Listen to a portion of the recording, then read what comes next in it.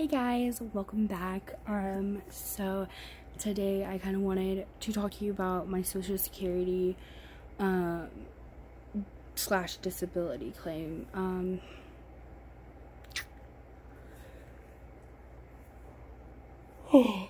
sorry. So um i have applied once in georgia and then we moved in the middle of my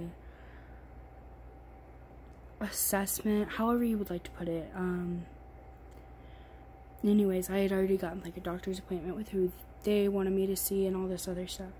Well i saw a doctor here and everything and um did all the paperwork and filled everything out and it was really difficult and hard to explain some of it because I don't know about you guys. I don't always, I mean, when you've lived with it for your whole life, how are you supposed to know that that's abnormal? Because that's why we didn't know that I had hypermobile joints because that's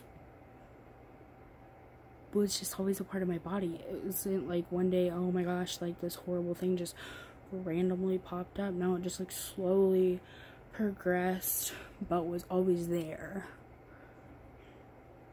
So, anyways, there's always that, and um, so I made the claim, and when I had done it, it was before we had the diagnosis of Ehlers-Danlos syndrome, and um, I was mostly just like for my mental health kind of a thing. Um, because for those of you who don't know, I have OCD, PTSD, GAD, um, dysthymia, and depression. Um, so working with all of that, they really, my counselor from before this time, really um, thought that I was going to get it due to kind of that lacking, you know.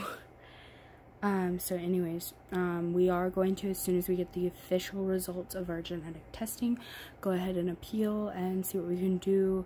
Um, it's kind of bittersweet right now because I'm hoping that with some of this like physical and occupational therapy, we can go ahead and uh, move forward and I can work like uh, more of a normal person if that makes sense um so that is long term my hope you know there is starting in September a dental assistance program and um, it's something that I would be able to afford right now um, due to some of the offers that I found out about and things like that. And I've checked it out. It seems to have plenty of openings kind of all over. So um I'm thinking about going ahead and do that. Doing that for those of you who are kind of newer to my channel, I have been talking about going ahead and doing things like that.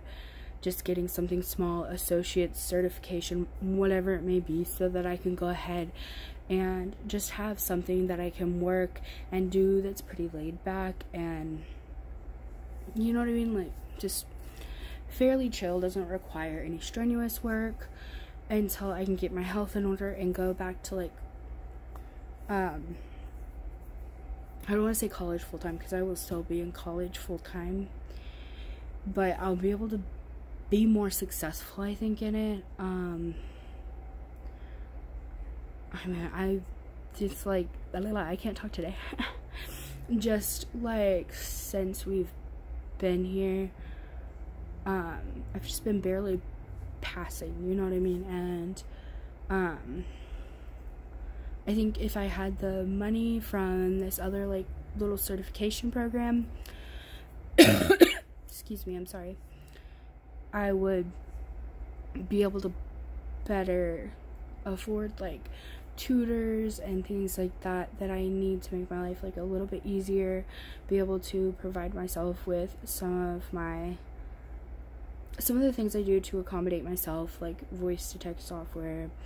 Um, there's like a pen that records the notes and stuff and then like writes them out for you kind of thing. It's really hard to explain and I know I'm explaining it horribly. Um, but there are a lot of resources for people with dysgraphia and my other health issues and things like that. So, but they're all really pricey. you know of course when you have medical issues it can never just be like free you know but if i was a drug addict or something like that they would just pay for everything for me. So it's frustrating. It's definitely frustrating. Um but we are working towards that. Uh we're, we're gonna gather all this other information now and then we'll have by then when we get the results of my Ehlers-Danlos we'll also have the results of my um, heart ultrasound. It's like echocardiogram. I'm not exactly sure though. Um, so yeah. We're gonna go ahead and give that a shot though and see where we are from there. And hopefully I'll get approved this next round but I have a friend who has been trying for almost three years now I think it is I don't remember but it's been a long time um so much so she finally did go ahead and get a lawyer. Um I right now can't afford a lawyer. I'm gonna have to wait a little while until I've accumulated enough time to be able to afford to give him or her a percentage of my um, lump sum lump sum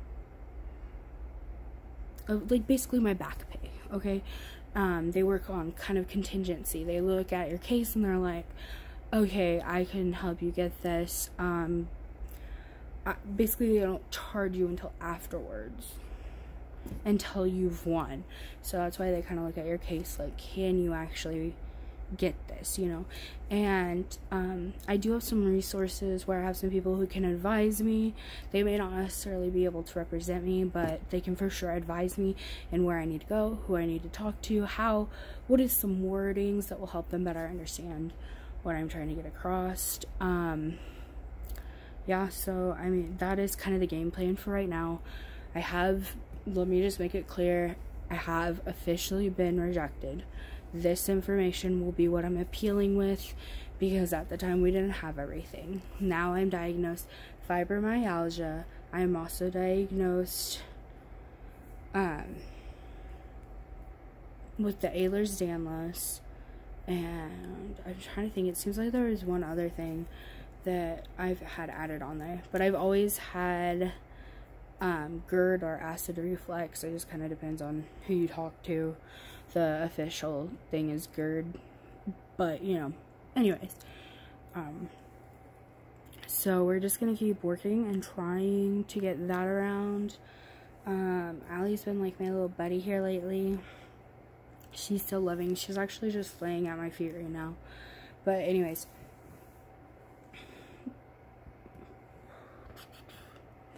I think that's really it for this video.